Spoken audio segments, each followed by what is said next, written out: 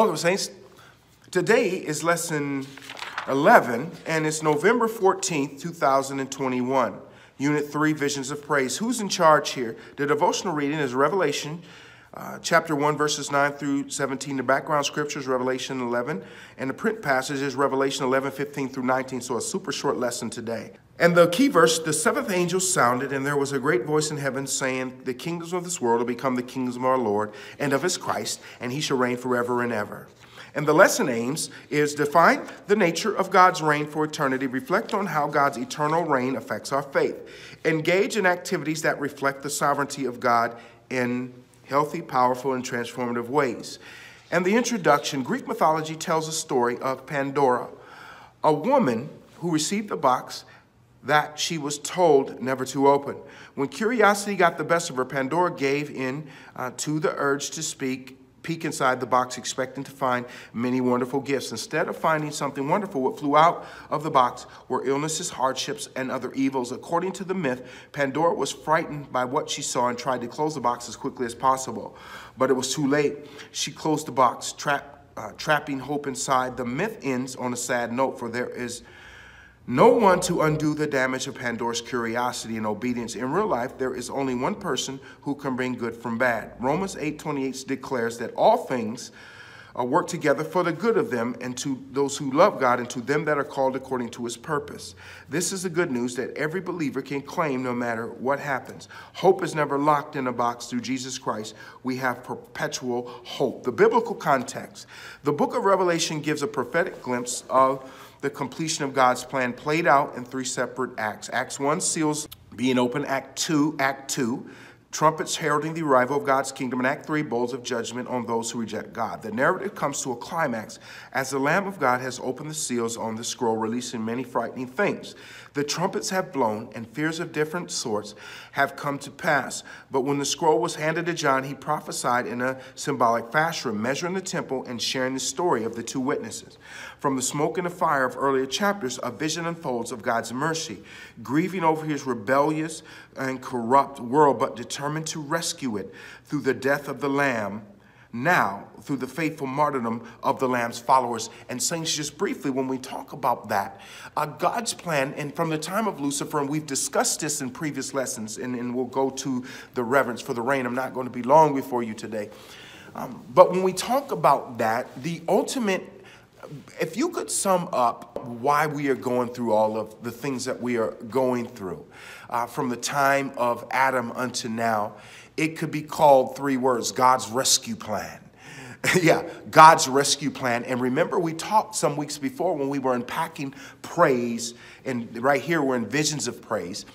Uh, so we're going to be dealing with the prophetic here uh, going forward. Uh, but when we talk about that, we understand that sin began uh, in, in eternity. If there's a, such a thing as the beginning of eternity, we can unpack, we can unpack that some other time but sin began there, and I know we are sometimes told, and, and we believe that somehow sin began in the Garden of Eden, and that's just not accurate. Sin had to be modeled by somebody. Sin has to be, before we inherited uh, sin uh, through the original sin, Sin had to be modeled for Adam and Eve to even for them to even know how to sin. So who was that sin modeled for and where did that sin come from? Well, we know that that sin was modeled by Lucifer in Isaiah chapter 14. And you remember, and I'm going somewhere with this because we're talking about God's rescue plan because this is what we are uh, digging into here the Bible and those scriptures uh, begin, and we want you to read. I want you to read Isaiah chapter 14 tells us uh, that Lucifer looked and he said, Behold, um, that he wanted, he looked and he wanted to sit on the mountains of the north. He wanted to be like God and all these other things. So Lucifer wanted to seize the throne of God according to Isaiah 14. Now, other people would direct you to Ezekiel also 28 and 29, talking about the king of Tyre being Lucifer, but that is like fault. That, that doctrine, that apologetic argument is flawed. We'll talk about that another time, but fo specifically focus in on Isaiah 14 if you want to know more about Lucifer as well. Um, when during his time and having read the book of Lamentations as well. Nevertheless, um, that Lucifer modeled sin. He was cast down according to those same packages of scripture.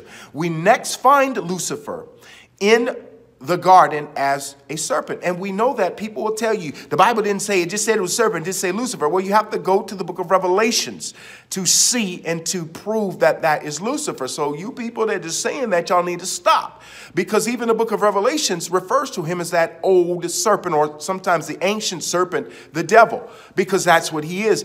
They, that sin had to be modeled. And I offer this to you who say that the Bible never says that the Satan was a serpent. How did that serpent know how to model sin and to pass that sin on or suggest that same sin? Is what you will find out is in, um, in excuse me in Isaiah 14. Lucifer specifically said, but the scripture says he said, "I wanted to be like God." First, he was cast down. What did the serpent tell Adam and Eve? Your eyes will be opened and you will be like God. So we have two, two beings saying the same thing.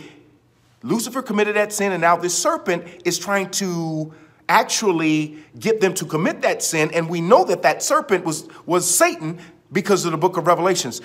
Uh, the, the, even the book of Proverbs says a, three, four, a threefold cord, cord is not quickly broken. Those are three examples to prove that Lucifer was Satan. Lucifer actually turned to Satan, but also came in the form of a serpent as well. So we, you need to not, those of you teaching that, you need to knock that off because that's not what scripture teaches. But I said to, to point this out is that sin was modeled by Lucifer, who we find as a serpent, who spoke to Adam and Eve. So when we talk about sin being modeled, once that sin was modeled, God's judgment uh, on Lucifer was actually packaged with his solution for that sin because remember, the Bible even calls this same lamb the lamb slain from the foundation of the world, which we know to be Yeshua HaMashiach or Jesus or Christ.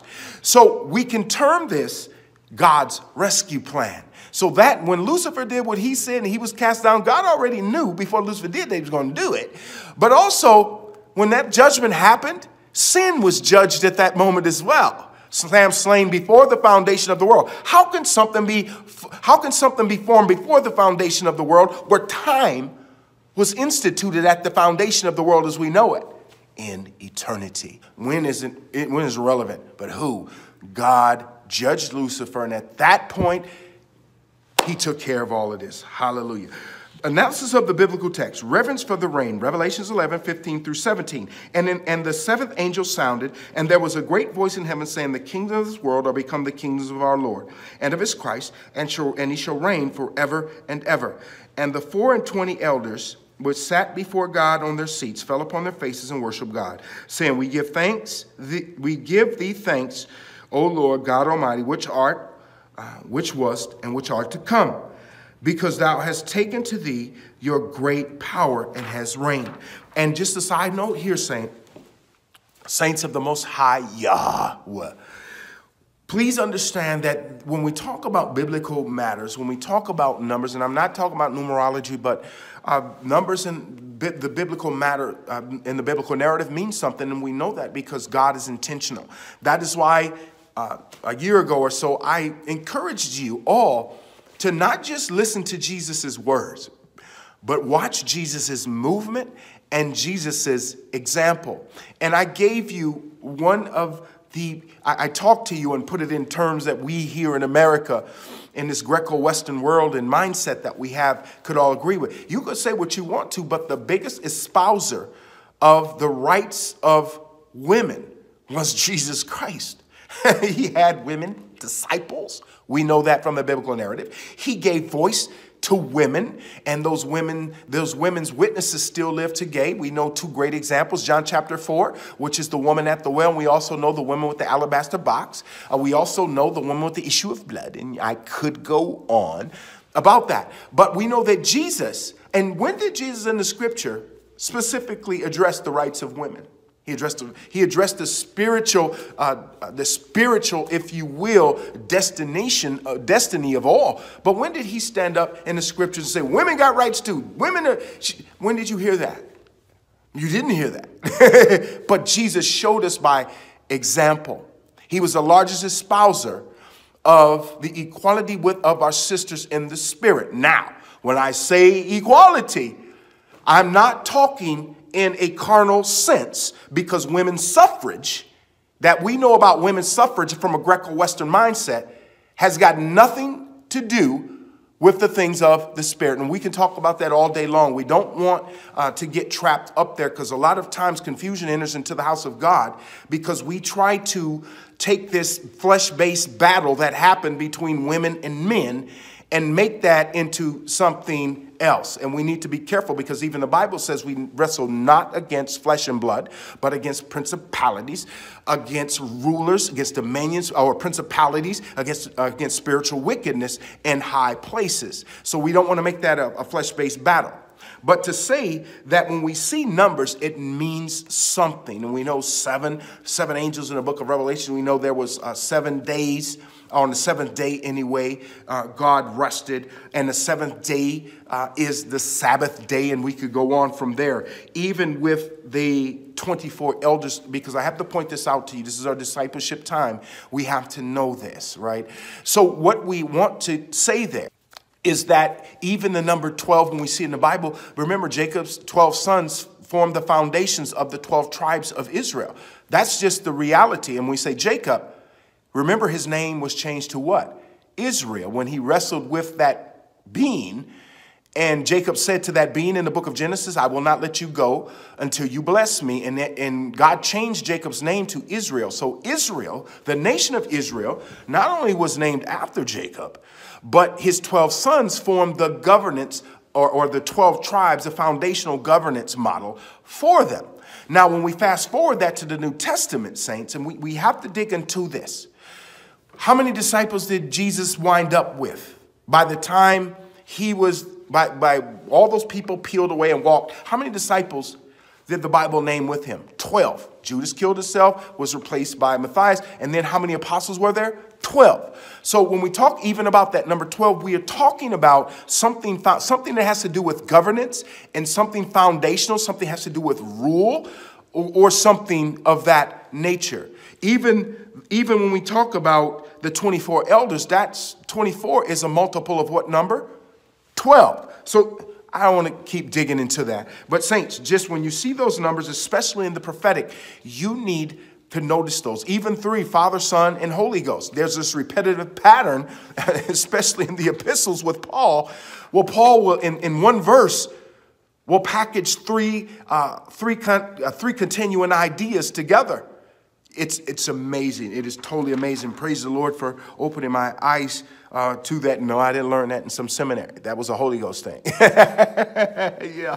So, in the, in the description, when the seventh angel blows his trumpet, there appears to be a pause in the unfolding of events, particularly known as the woes. And when we talk about woes, saints, remember woes Biblically, another word for that is sorrows. When you hear woe, for instance, woe unto you shepherds who scatter the sheep of my flock, woe unto you worthless shepherds.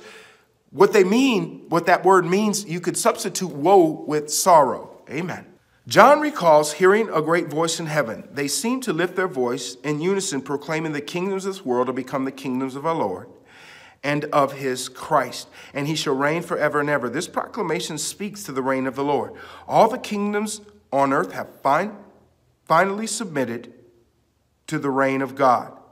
This new kingdom is far different from any government that has risen and fallen throughout world history. God's holy rule will last forever. Verse 16 captures the high reverence of the 24 elders who were seated before God and fell to their faces. And let me say this uh, also, saints, because you know part of what your dear servant does is apologetics or a, or a cohesive, cogent, logical defense of what we believe. Also, be careful. Even we talked about that. I even um, biblically spent years trying to track down biblically who those 24 elders were. When we talk about the 24 elders, the identity, because we're dealing with the prophetic here at St. Mark and with our Bible study and Revelations, nobody knows who those 24 elders are. those 24 elders are not identified. If anybody comes to you and says they know the identity of these 24 elders, be careful because they are not being truthful, because there's certain, certain some extra biblical source uh, that may or may not be of God. So just be careful with that. What do you think? What do you say to those who believe that evil on earth is an indication that God's power is limited? Well, what we say is that is false doctrine. Now, we could talk about free will, and we could talk about those things, and I could easily tell you people have free will to choose uh, good or evil. But to say that God's power is limited is, is a much broader discussion, if you will, saints. God does prescribe power, but he does not prescribe the power to sin. If God's power is limited, he could not be omnipresent. He could not be omnipotent. He could not be omniscient. He couldn't be omnipresent. He couldn't be all of those things because those things speak of unlimited, what we would call anyway, unlimited power. So when we talk about evil on earth as an indication God's power is limited, uh-uh. What it really is, is God's power being withheld not to violate people's free will to choose him or choose the way of evil. So I would submit to you apologetically that this is not an indication that God's power is limited. It's really an indication that he is withholding his power to override our free will because God's not going to override our free will. And when we look at the biblical narrative, even in death, and for those who don't choose Jesus and to be reconciled to God, you can't say that God assigns anyone to hell. Their choices, according to the Bible, is what assigns them to hell. God didn't force and will not force anybody into hell. They walked there by themselves and they chose that. So again, God's power is not limited. He's just not going to use his unlimited power to override our free will. And rejoice for the reward, and this is 18 and 19, and this is, we're, we're almost finished here. And the nations were angry, and your wrath is come, and the time of the dead that they should be judged, and that they should give reward unto the servants and prophets, and to the saints, and to them that fear your name, small and great, and should destroy them which destroy the earth. And the temple of God was open in heaven, and there was seen in his temple the ark of his testament, and there were lightnings and voices and thunderings and earthquake and hail. And the description the declaration of Christ's eternal reign is followed by a chant or song of praise offered by the 24 elders, elders who worship at God's throne. While God has unified the world and received high praise for Christ's restorative acts, there are those in the world who are yet angry because of the display of God's wrath and judgment. Those who have finally firmly rejected God's love and grace can only inherit God's wrath. Judgment is at hand. And remember, those people, especially in times, they're going to receive that mark, um, which is the mark of uh, 666. Divine judgment is dreadful for those who rebel against God. However, for those who have served God, proclaiming his word and giving honor to his name, God's judgment is not a day of condemnation, but of welcome moment of remembrance and reward. Those who have served the Lord faithfully with or without public applause or acclaim will be received and richly rewarded in God's eternal kingdom. This is a great reason to rejoice. Our reward is sealed forever. The voice closes with a stern reminder that those who have sought destruction on earth shall themselves uh, be destroyed. John saw God's heavenly temple opened with the Ark of the Covenant, while others this while this passage has many interpretations. Most Bible scholars agree that it is a confirming symbol of the communication between heaven and earth, another revelation of God's presence. Wickedness and rebellion may flourish for a season, but our ruling, reigning Redeemer will one day shut the box on all that is evil, giving us never ending reason to rejoice. Saints, God loves us so much that during these end times that was spoken of in the scripture, and I'm not going to get into pre trib uh, pre-trib, during, a post-trib rapture, and not getting into that because that's out of the bounds of this text.